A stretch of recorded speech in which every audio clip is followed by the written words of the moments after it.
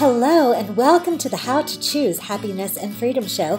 I'm your host, Lauren Foster, happiness teacher and founder of Be Happy First. As a certified life mastery consultant, masters of wisdom and meditation teacher, and primal health coach, I'm on a mission to help 1 million women learn to be happy and free on purpose, healthy, wealthy, and joyfully living life on your own terms.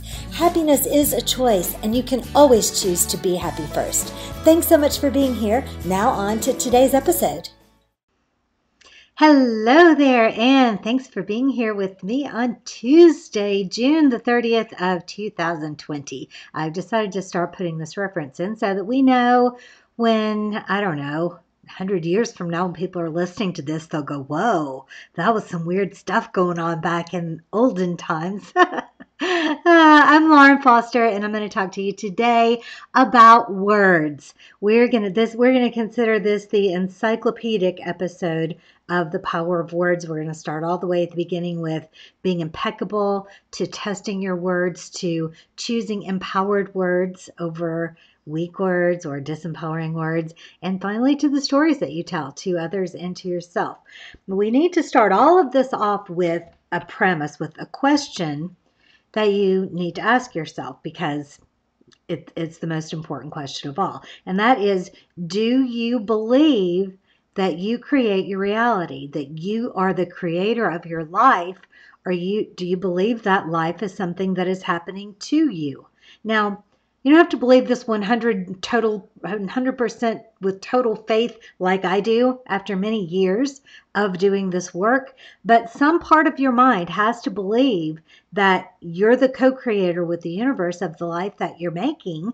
Otherwise, none of the words that I say, none of this teaching, none of these activities are going to work for you because you don't believe that they're going to work. And so you know, don't even bother wasting your time. Now, the good news, however, is if you do believe that you are creating your reality, that you're the master of your life, then all of the things that we're teaching are going to come so much easier to you. So keep, keep this question in mind as we as we go through the topic today because I'm going to pull this back up and say so if you know that you're the creator of your reality, wouldn't you automatically choose this instead of this because you want to create this instead of that?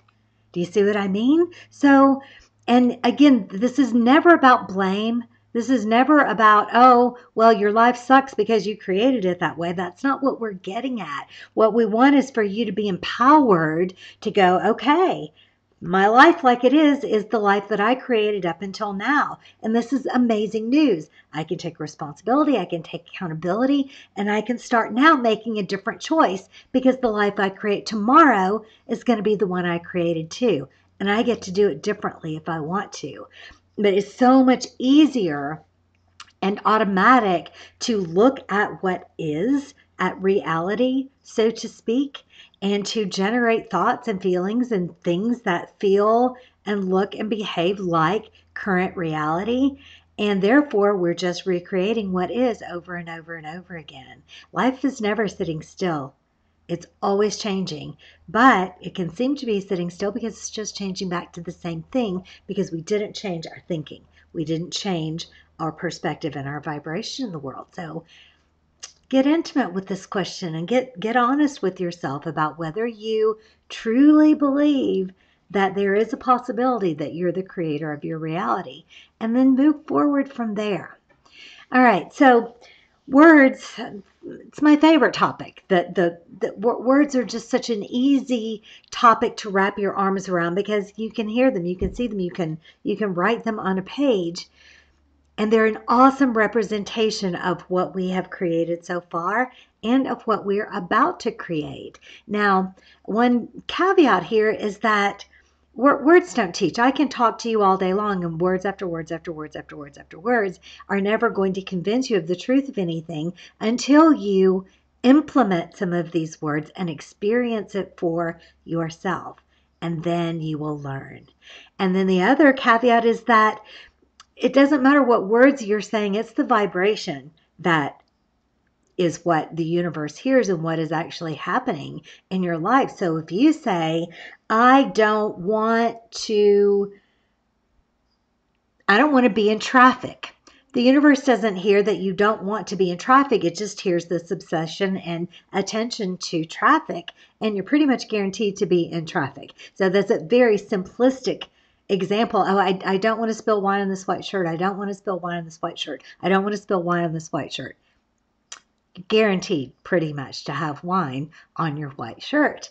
So it, it's it's about the words, but it's really about the vibration. So pay attention to the things that you're thinking about and the things that you're saying. All right, so we started off, we always start off this topic with Don Miguel Ruiz and the Four Agreements, his amazing book that I recommend to everyone. And by the way, Will, um, th- this is episode 49. So if you go to behappyfirst.org forward slash 49. You'll find all of the links that we mentioned today, all of the resources, the video, the link to the podcast. Um, so be sure to like the Be Happy First page or subscribe to the podcast channel you're listening to or the YouTube channel or wherever you happen to be connecting with me. Be sure and latch on so that we can stay connected. And any freebie on the Be Happy First website, and there's a bunch of them, will get you onto our email list where all of the fun stuff happens. All of the intimate conversations and the insider things. And um, as we start to develop programs, you'll be the first to hear about these and get the best pricing. And so it, it's a good place to be. So get get connected with us wherever you can. All right. So Don Miguel Ruiz, his the first of the four agreements is to be impeccable with your word. And what what Don Miguel means by that is to not use your words for casting dark spells, but to use your words for casting light spells. He talks about how our words are magic and that they can be white magic or they can be black magic. They can be uplifting and building up and creating beautiful things, or they can be damaging and tearing things down. Now, remember back to the original question. If you believe that you're creating your reality and you believe that your words have power, are you going to take a second before you speak words to your child? Are you going to take a chance on damaging the self esteem and the self respect and the sense of safety and security of your child by unkind words that you spoke in the heat of the moment that you didn't stop and consider? I don't think so. I think if you understand that one snappy phrase to your child could have giant magical benefits, then you're going to teach yourself to pause and choose your words b- before you utter those. The same thing anywhere in the world. If you know that you're creating your reality, that you're creating the world, are you going to speak words of hate? Are you going to stop and figure out a way to speak those words of love instead? You know? So that that belief is really really important. So don miguel don miguel goes on to say that words are a double-edged sword. The, the same thing black or white magic they can they can be used to help or they can be used to harm. But the beautiful news is that we always get to choose. And we can teach ourselves to pause before we choose our words by meditating. Meditation teaches your brain that you're in charge, that you get to say, Whoa, this is not a thought that we're going to entertain or speak or really let into our reality at all. We're going to choose a different thought. We're going to choose a different message, a different feeling, a different way of wielding our magic in the world.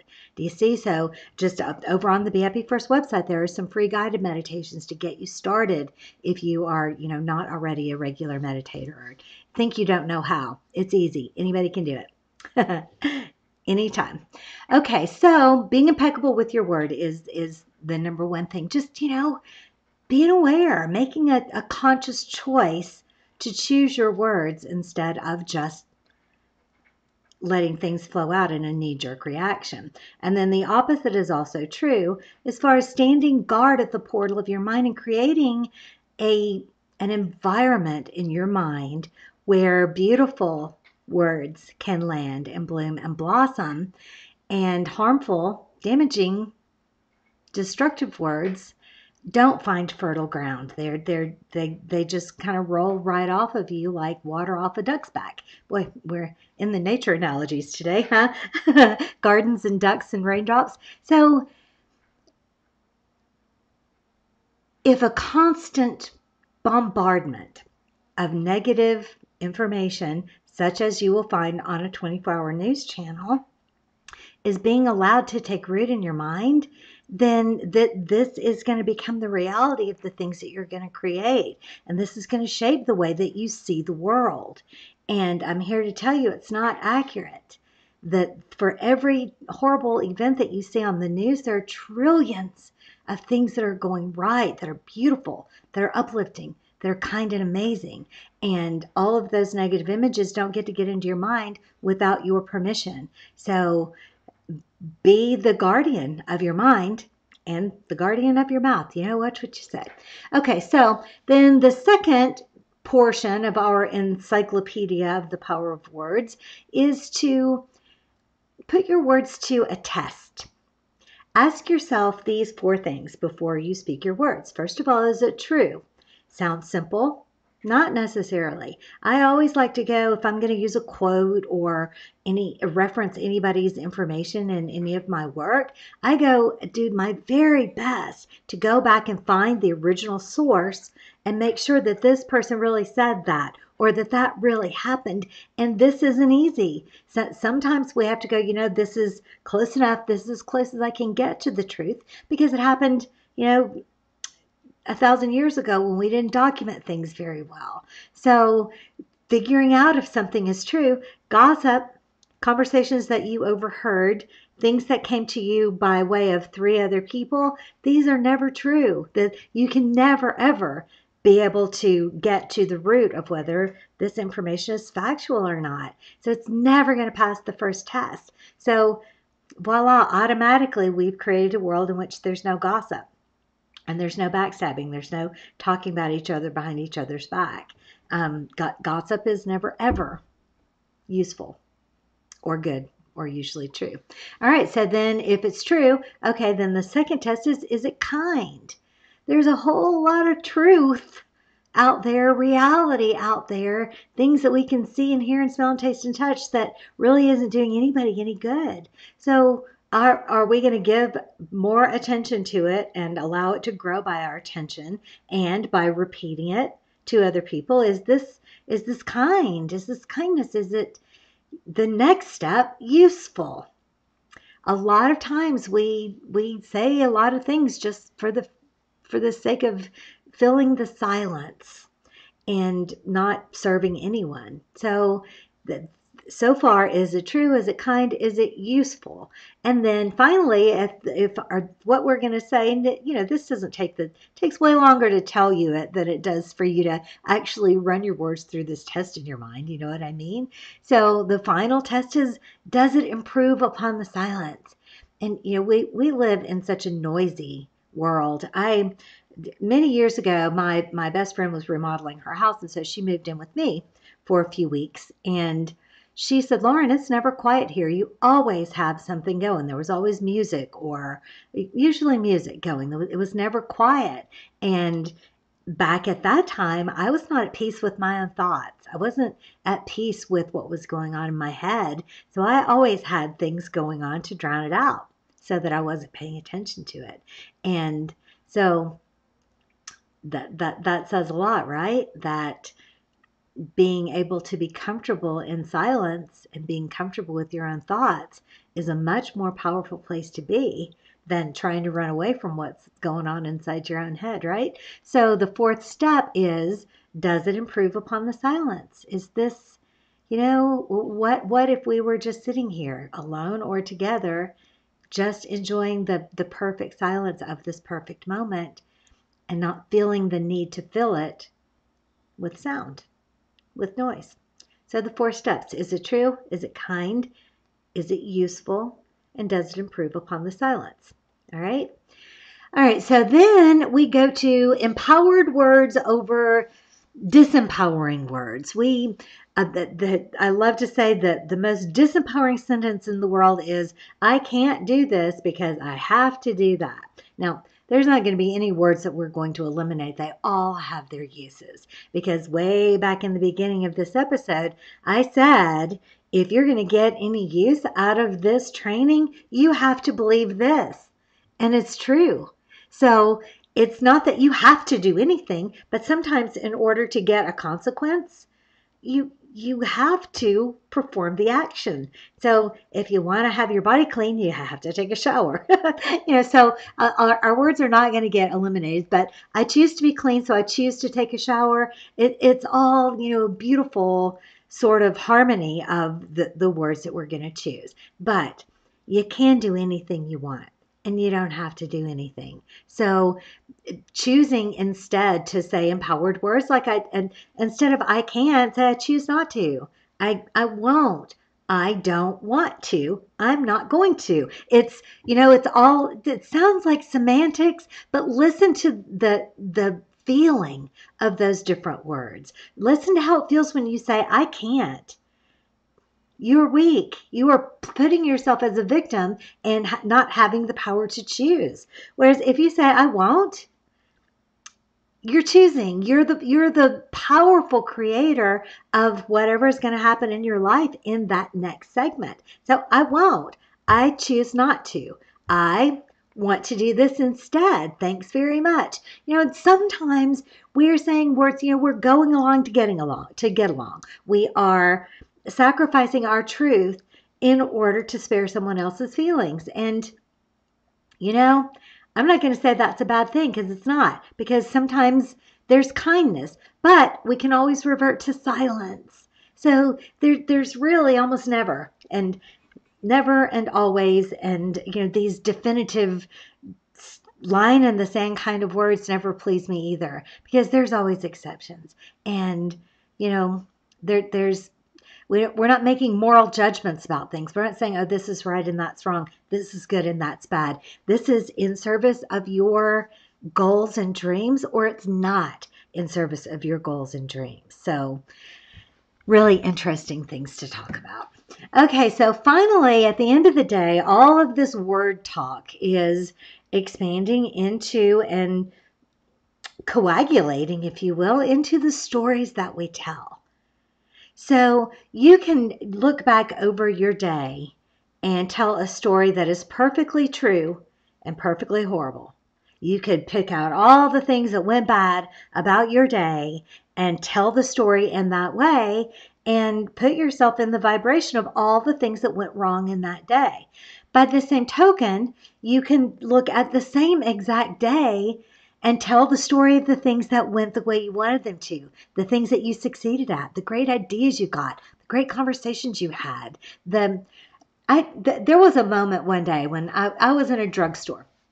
I don't, I don't even remember where I was, but the moment sticks in my mind so incredibly well that so I, I was walking down the aisle and I saw this beautiful mother looking down at her baby. And so I, I looked at the mother, I looked at the baby, and it was a beautiful baby, you know, just all dressed so sweet and happy and comfy. And it was just a beautiful sight. And I smiled. And as I smiled, my eyes went back to the mother, and she smiled back at me with this look that said, Yeah, I understand exactly what you're smiling about. I so get it. You know, and you know, I just took 30 seconds to tell that story that is so uplifting and so just heartwarming and so about nothing but beautiful. So it was absolutely true. I did have that experience. It was totally kind. It was it was totally useful because it was giving you an example of how the simplest things, even that don't have any words, can be amazingly uplifting and how to tell that kind of story. So the same thing about your life, that the story that you're telling about the life that you've lived so far and about the life that you're living in your future. So th- these are stories that we're telling out loud, but they're more importantly the stories that you're telling yourself. Are you are you telling yourself a story of failure, of your shortcomings, of your mistakes, of the, the things that you didn't get right? Or are you telling yourself the story that every single thing that you have done has been taking you along this amazing path that's on its way somewhere beautiful and that you're so loving the journey and you know that those weren't failures because you're not done yet that you you aren't finished becoming what you're going to become and you're never going to be finished becoming what you are, are going to become. So you're, you're getting to choose day by day by day the stories that you're going to tell. And don't tie yourself to reality in this case. So I know I'm contradicting myself, but I am building an empire. I am building an amazing business. I am creating an amazing, beautiful, healthy body. I am becoming the master of my health. I am becoming a best selling author. I am creating a movement that's going to help a million women. Are those things reality? Not yet but they're going to be because that's the story that I'm going to keep telling. I'm going to keep telling the story of meeting people who are going to help me amplify this message, meeting other people who have the same message that we're going to amplify that together. And we're going to teach you all to be happy and free on purpose. One million of you women out there, and together we're going to completely change the world. This is the story that I'm telling. So, what story are you telling? What credit are you giving yourself for the things that you've accomplished so far? What positivity are you choosing to project out into your future and the world that you're creating by the stories that you choose to tell today? So empower yourself to tell the story of the way you want things to be, the way that you are going to you are going to create your life to be that you are creating your life to be by your attention to it by choosing your perspective, by choosing your words. And so one of the so I'm I'm learning to speak Spanish, and that's I I have been learning to speak Spanish for 20 years. so I, but I haven't I haven't failed because I haven't given up and I haven't quit. And so it always brings to mind that sometimes things are lost in translation with words, especially if you are using a different language, and that's why your vibration is so important. So you know, if if I am speaking Spanish and I think that I'm asking where the restroom is um, but I'm really saying something else entirely, chances are I'm going to make myself understood through my vibration, through the nonverbal communication that connects us as human beings. And I actually know this to be true because I've experienced it in in communicating with people who we didn't speak the same language. So it's all a wonderful, wonderful, wonderful journey, and our, our words are helping us to identify what we are in the process of creating and help us to choose what we're going to create in the future. So use them wisely and have fun. Have fun with this. You know, which, which words feel better? Does it feel better to me to say, um, I love it so much when you turn the music down so I can sleep? Or would you please turn off that horrible music and stop being so inconsiderate? Same message. Which one feels better? You know, you can always ask that question. Does it feel better to say things this way or does it feel better to say things that way? You get to choose. All right, so I'm going to have an amazing guest here on Thursday. Her name is Lauren Polly, and she's the author of The Other Side of Bipolar, which is all about changing the way we look at mental illness. And I have air quotes around that because we're going to, she's going to talk to us about how we can tear away the labels and tear away the the um, confinement of a diagnosis and a label and things like that. So that's going to be Thursday's episode. We'll we'll share more about that as time goes on, and I hope that you'll be here with us. That's on Thursday at 11:30 Eastern Time. We're live on Facebook, but then this message gets shared everywhere else. So get hooked up with us. You can always just start at BeHappyFirst.org and click anywhere in that website and it will take you to freebies, to ways to get on our email list, ways to get signed up and connected with us. So I'm going to see you back here on Thursday. In the meantime, remember happiness is a choice and you can always choose to be happy first. I'll see you soon.